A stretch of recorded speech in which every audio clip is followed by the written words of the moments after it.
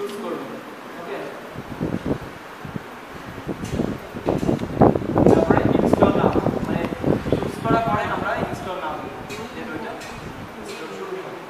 এরপরে আমাদের লাইসেন্স কি সিলেক্ট কাস্টম ইনস্টলেশন আমরা কাস্টমটা সিলেক্ট করব। দেন আমরা ডিসাইড করব যে কত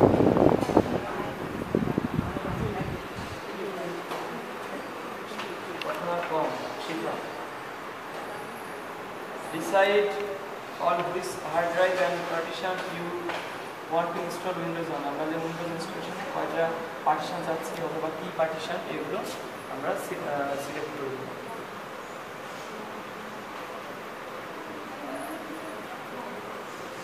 তারপরে আমরা পার্টিশনটা হওয়ার পরে মধ্যে পেজ আসবে লোডিং দিবে। দেখেন, এই পিকচারগুলো একটু করেন ইনস্টল নাও